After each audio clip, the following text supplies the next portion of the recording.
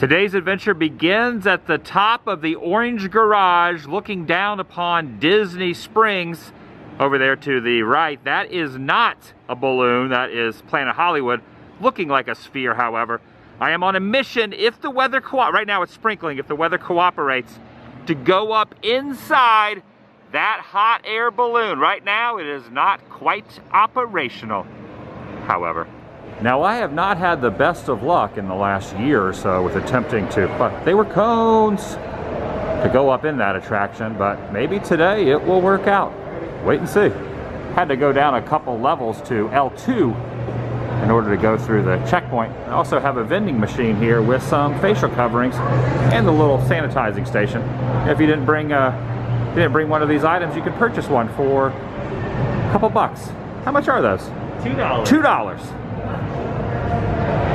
Welcome everyone, Adam the Woo here, Dylan Theme Park Obsession. We are not in a theme park today, even though that clarifies your name. However, it is there's a gray area there because Disney Springs is on Walt Disney World property. So it works. Yes. I'm inviting you to join me. We're just gonna roam around. What, what do you want to do out here? I get to cruise around and enjoy it. Just enjoy the day. I'm inviting you to join me and Dylan. Shall you? Take a look at the extended queue to get in here from over the weekend. It is already past the weekend on a weekday currently, but goodness, this, yeah, business has picked up. In fact, before, prior in my recent videos and visits back here in July and October, Orange Garage wasn't even open yet then. Certainly get your steps in. Plenty of walking takes place. Oh, he's doing a little walking there. Got the guidelines in full effect. Hello, Minnie. Something I also noticed uh, prior to this month, they never did check the items you were bringing in. They just checked your temperature and that was it. In the parks, they you know made sure whatever was in your pocket was checked and now they have adopted that policy here as well. And even if the balloon does not take flight, there's still plenty of other items to see, including Christmas trees. There's some Jawas on here and a couple BB units and Chewbacca's sash up there, but I'm really hoping that balloon starts to, starts to work.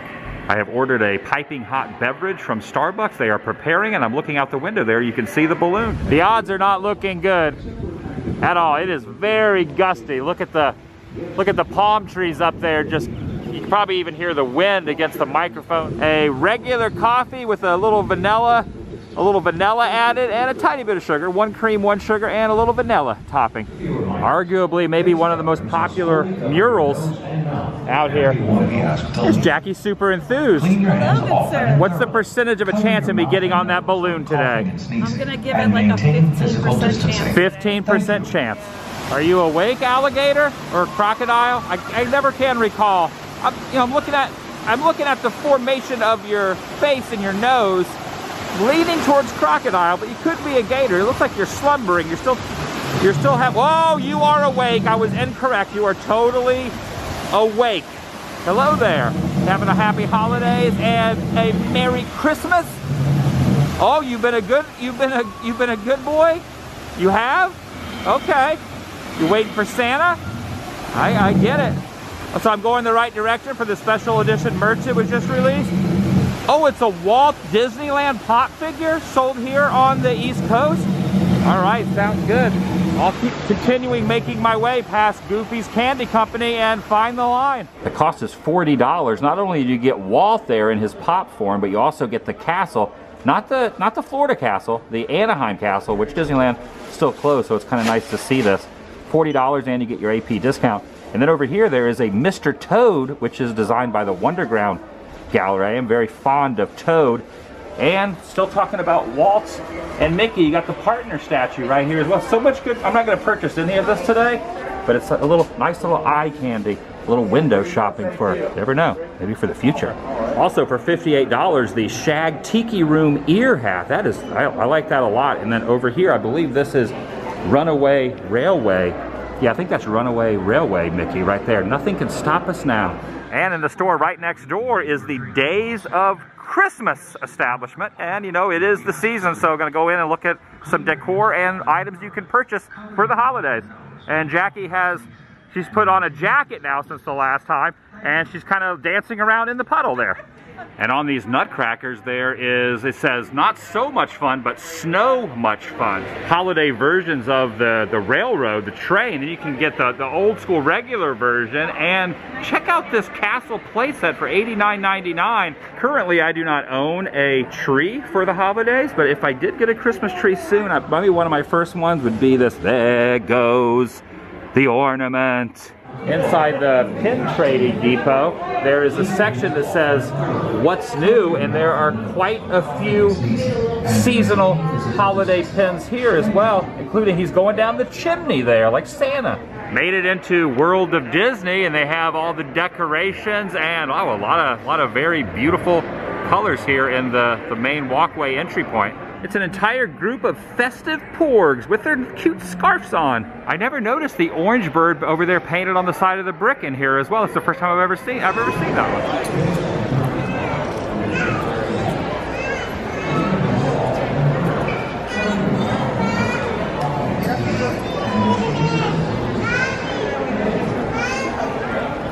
After exiting World of Disney does not look as if the weather is going to cooperate well. It's still very overcast up there. Many years ago, that used to be the parking lot. This was the main bridge entryway into Pleasure Island.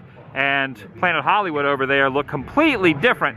There used to be a little archway here, and that used to be Mannequin's Dance Club right over there, that in the distance. And this river itself has been a little, it made it basically look a little bit different than it did back in the 90s from when I first started appearing out here.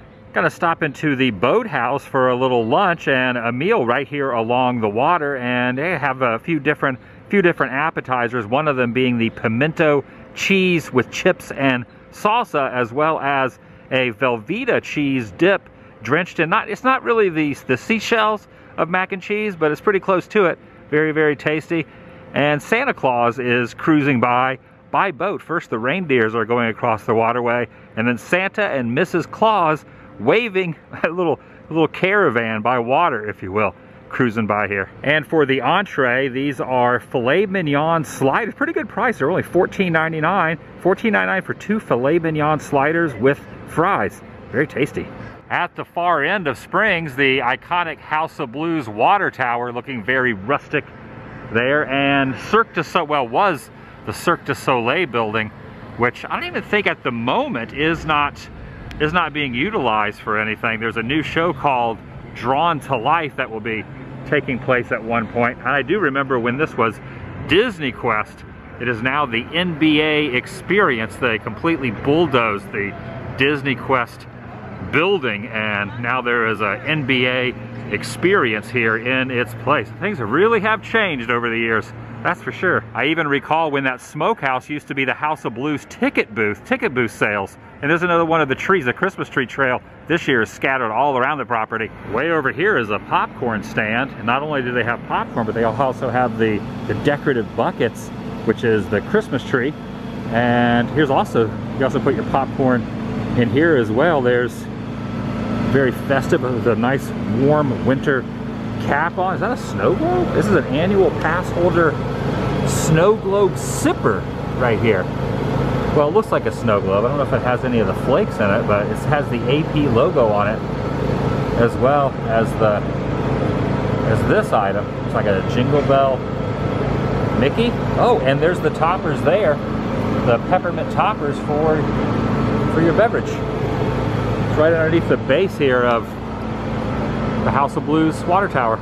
There goes the monorail. There's a couple of them like kind of looping up the top of the tree there. And then peeking out the top is a part of another palm tree that's not attached to this. It just looks like it is. Yep, just as I thought, the balloon is still parked over there.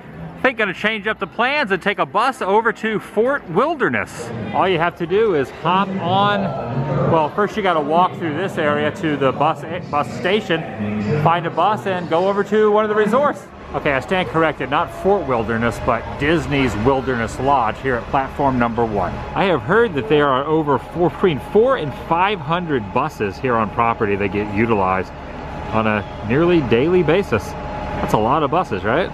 Going to and fro, different properties, back and forth. Even though I parked the rental car at the orange garage, which is seen there, I'll be able to return back on the bus. That's the Orange Garage, right? Yes. I think Orange Garage is the most popular of I all. always park at Orange. I think most people, see Dylan was saying earlier, that the Orange Garage is the only garage he even knew existed here because everyone always talks about the Orange Garage. probably one of the most famous parking garages ever. There are some Lime people. There are some people who are dedicated to Lime, but I, those people are are a mystery to me. I'm all about the orange. This is Orange County. I'm from Orange County in California. This is Orange County, Florida. Why not park at the Orange Garage? Makes sense to me.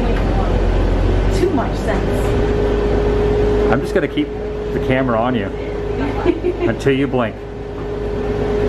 Blinking contest. I'm zooming in. Your eyes are getting watery, Zoom. Aren't they? Ultra I'm not zoom. giving up. Very dry. I'm not. You can see his eyelashes. And Oh, see, what the look at- viewers that's don't good. know is that there's a vlog section happening right Oh. behind the. Yeah, see, she is right on those retinas Oh yes. right now. And even though there is a Springs water tower there, it was rumored they were going to take the water tower from Disney's MGM Studios, now Hollywood Studios, and move it over here. But that never happened. I have no idea what happened to. They were fearful of the earful. It's amazing how a simple 10 minute bus ride, the sky is now completely clear.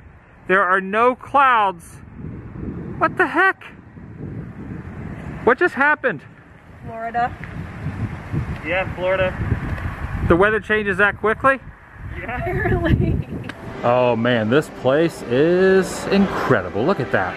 I don't know what that noise is, but take a look how the light is shining through the window, almost Raiders of the Lost Ark style. That, what is that noise? There's some, must be some construction going on in the next room. Now I've never stayed here. This is just the lobby, but it, it is very impressive to say the least. This is very similar to the railroad cart you see in all the the photos of Walt back in the day on top of it. Very, similar, not the same one, but very similar to the one he was on. There is a bubbling fountain down here. Take a look at this. It's almost like it's like protruding up from the ground. It's not, uh, it's not lava. Well, it's almost like a geyser. That, that's the word I'm looking for. Not lava from a volcano, but like a geyser, like you'd see kind of shooting up to the heavens and it makes me wonder, does it go to the outside? You got this bridge and then over, yeah, the waterway stretches out inside into outside, leading, and there's a reef. Up on the top level, there are a few seats right up here.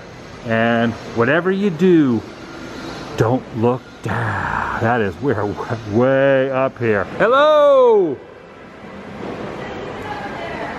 Copper Creek Falls. Yep, there's the waterfall right there looking very, very majestic. That is amazing. That is the same waterway that was inside the lobby that pours out here and over those rocks. Even though you can take the bus over, there are no guests allowed unless you are staying with DVC. And you can see there are some, you got some uh, scaffolding up there. They're doing a little construction on the rooms, getting everything ready for when it's back to, to full, its full operating procedure for normal guests later on, well, probably into early next year. But if you're DVC, you can stay here now. I'm not DVC, I just took the bus over. Boulder Ridge Railway and Mining Company. And you kind of go over here and here's another water tower. And you have Bay Lake over there in the distance. And I do believe that that is Discovery Island off the shoreline there. And just next to it, to the side of that boat there, was where River Country was. River Country was right over in there. They were going to build a new, a new hotel resort, but I believe that has been put on, on the back burner. Right here on the shoreline is a geyser. Never knew this existed until now. And every so often, could be every 15 minutes, every half hour, every hour, blasts off into the sky. No idea when that will happen. So to be patient. Just no pun intended. Camping out even though the camp campground's over there. Good one. It's a good one, right? Good one. When do you think this geyser is going to go off? I don't know, man. I'm a little skeptical. You got your camera set up? Yeah, you know what though? Look at that. We can just pretend that's the geyser. If it doesn't go off, backup plan, we just pretend that's the geyser. What do you say? The water just keeps going. Everybody has to be on this. That's or else it's not cheating, though. That's cheating. You know, it's just their backup plan. I'm just gonna wait on this. All right, fine. At least we know for sure that it actually happened because we did see it earlier. I so, didn't see it, We so saw I it don't from know. A, we saw it from a distance. Yeah, it's kind of like camping out for like a fireworks show, yeah. but uh, it was like world of color. There's a lot of camping being thrown around. We've been waiting here a while. Any minute now. Come on, geyser. Come on, guys. There's a geyser at, at Disneyland Hotel. I remember. It's from the old mine train through nature's wonderland. Mm. They transferred it over. This one, however, is a different one. Gonna happen soon. Any minute now. Any minute it's gonna happen. I can feel it. Come on, geyser. Oh So close. See it bubbling. Oh no, it's not. It's just the wind blowing the water. We were told we had a few minutes till the geyser goes off, so we're getting some hot cocoa from Roaring Fork. Look, I think that's a bent fork up there, right? Is that how a fork It's the ro- fish's tail is like a oh, fork, oh, right? Oh, the fish's tail. Kinda. Okay, and they're gonna bring the they're gonna bring the hot cocoa out. Normally I drink coffee, but in this case I'm gonna I'm gonna have myself a hot cocoa. Yes. Two hot cups. And then there's a coffee on And then Dylan's getting a, a coffee Getting the coffee. from from the Roaring Fork. Yeah, look, check that out. It's like that's a fork for a tail. A piping hot beverage. That's Coke. Oh, there it is. There it goes. I just saw it. It just went up. It just happened. I thought it was going to come out of that little. There it is. It is happening. It is on the hour plus two minutes. Whoa. This is happening right now. It's actually, it's real. It's a real thing. Look at that. Whoa, it is like really festooning itself up in the air. I thought it was gonna I thought it was gonna go out of that puddle there. I did too. But it's not going out of the puddle, it's going out.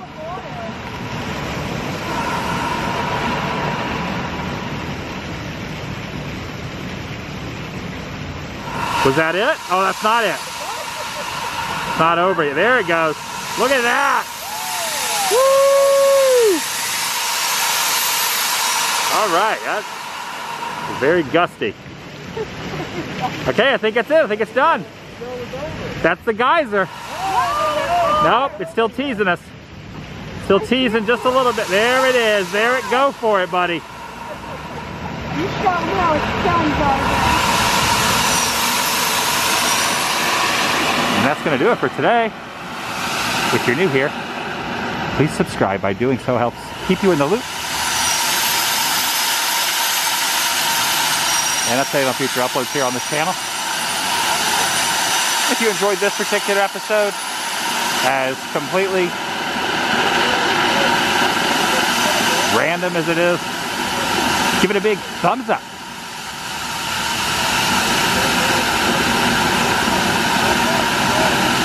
It lets me know you care. I'll see you in the next video. The vlog is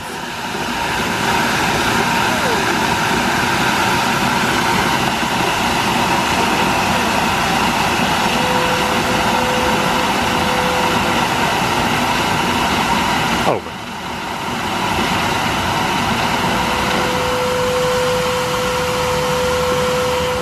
I think that's it. Or not.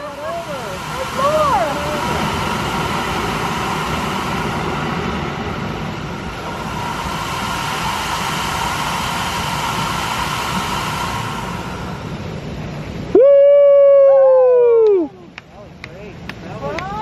Heck yeah, who needs a balloon? I'll be back for you, balloon. You're still grounded, but I'll be back when you're not grounded. I'll be back for you, balloon. Rest assured.